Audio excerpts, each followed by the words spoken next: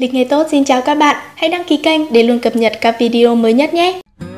Thanh Minh 2020 là ngày nào? Lễ cúng Thanh Minh 2020 thế nào để tổ tiên phù hộ bình an, hưởng lộc?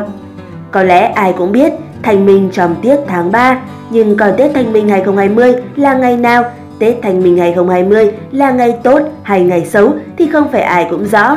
Lễ cúng Thanh Minh như thế nào, nên làm gì trong ngày này? Hãy cùng để ngày tốt tìm hiểu ngày sau đây nhé! Thanh Minh 2020 là ngày nào? Tiết Thanh Minh 2020 bắt đầu và kết thúc khi nào?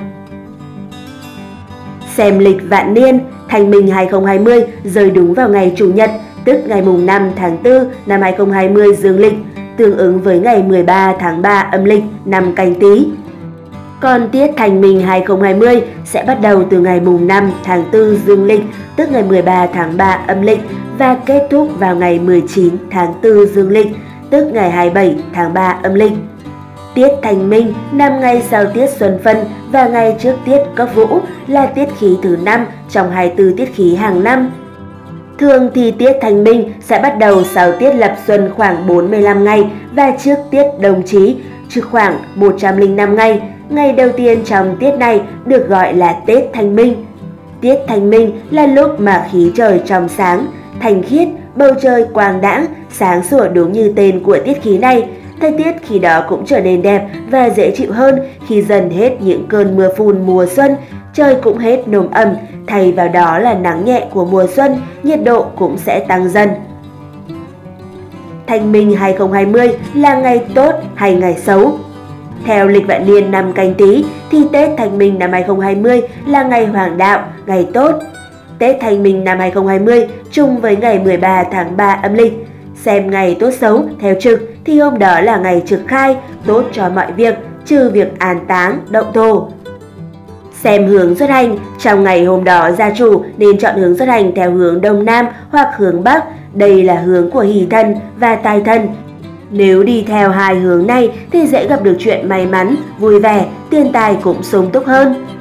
Các khung giờ hoàng đạo, giờ tốt để xuất hành, làm chuyện đại sự như cưới hỏi, xây nhà, mua đồ trong ngày Tết Thanh Minh 2020 là giờ Tý, giờ Sửu, giờ Thìn, giờ Tỵ và giờ Mùi, giờ Tuất, ứng với các khung giờ. Từ 2-3 giờ đến 1 giờ, 1 giờ đến 3 giờ, 7 giờ đến 9 giờ, 9 giờ đến 11 giờ, 13 giờ đến 15 giờ và 19 giờ đến 21 giờ. Bạn cũng nên lưu ý nên tránh xuất hành theo hướng của hắc thân, tức là hướng chính Tây trong ngày Tết Thanh Minh này. Cũng cần tránh các khung giờ xấu, giờ hắc đạo trong ngày để xuất hành hay làm việc lớn như giờ dần, giờ mão, giờ ngọ, giờ thân, giờ dậu và giờ hợi, ứng với các khung giờ lần lượt là từ 3 giờ đến 5 giờ, từ 5 giờ đến 7 giờ, từ 11 giờ đến 13 giờ, 15 giờ đến 17 giờ, 17 giờ đến 19 giờ và 21 giờ đến 23 giờ. Trong ngày Tết Thanh Minh, ngày mùng 5 tháng 4 năm 2020, người tuổi canh thân, giáp thân cũng nên lưu ý để giữ an toàn cho bản thân bởi bạn là con giáp xung ngay, dễ gặp nhiều chuyện xui rủi ngoài ý muốn. Ngoài ra, theo quan niệm dân gian thì Tết Thanh Minh năm 2020 ứng với ngày mùng 5 tháng 4 năm 2020 là ngày tam đường sát, là ngày xấu kỵ việc khai trương, xuất hành, cưới hỏi hay sửa chữa, làm nhà trong ngày này. Các bạn cũng đừng quên theo dõi bản tin tử vi hàng ngày được cập nhật liên tục trên kênh Linh Ngày Tốt để có những sự lựa chọn chính xác cho bản thân nhé. Nên làm gì trong tiết thanh minh? Theo phong tục truyền thống của người Á Đông nói chung và người Việt nói riêng, tiết thanh minh là thời điểm mà con cháu trong nhà sẽ tụ họp lại với nhau để đi tảo mộ ông cha tổ tiên. Đây là lúc mà con cháu tỏ lòng hiếu thảo, tưởng nhớ tới ông bà tổ tiên và những người thần đã khuất. Ngoài việc giả mộ cúng bái, tu sửa dọn dẹp lại mộ phần cho sạch đẹp, thì các gia đình cũng sẽ sắp xếp thời gian thích hợp để làm lễ cúng mời tổ tiên và những người thân đã khuất về nhà dùng cơm với con cháu. Nhân lúc khí trời thành mát, mọi người, nhất là lớp thành liên, còn có thể đi du xuân, ngắm nhìn đất trời đang trong thời điểm chuyển mùa, cỏ cây tươi tốt. Sắm lễ tả mộ thanh minh Đi tả mộ tiết thanh minh nên chuẩn bị lễ bao gồm hương đèn, trầu cau, hoa quả, tiền vàng, rượu thịt. Khi đến nghĩa trang hay khu vực có để mộ phần của gia đình mình thì gia chủ nên đặt lễ vào chỗ thờ chung, sau đó thắp đèn, nhang, vái bà vái vị linh thần thổ địa rồi khấn. Sau đây, Linh Ngày Tốt xin gửi đến các bạn bài văn khấn tảo mộ thành minh tại mộ và tại gia chuẩn theo văn khấn cổ truyền.